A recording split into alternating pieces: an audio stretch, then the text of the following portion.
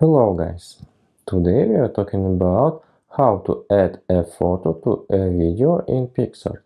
This may be your first time using PicsArt and you don't know how to do it. Today we're gonna show you this. We can add any photos to the video as a separate layer. To do this, open the video in PicsArt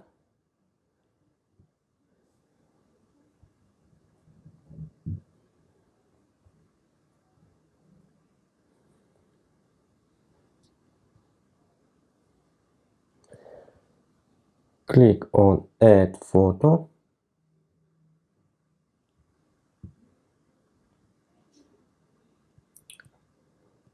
Select one or more photos and click Add.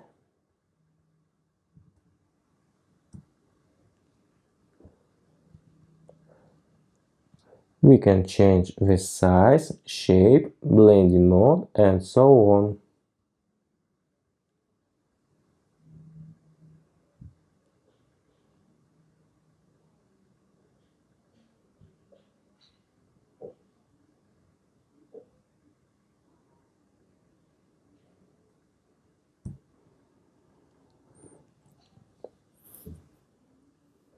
And to adjust the duration of the photo display, you need to select the track with the photo at the bottom and pull the edges to the left or right.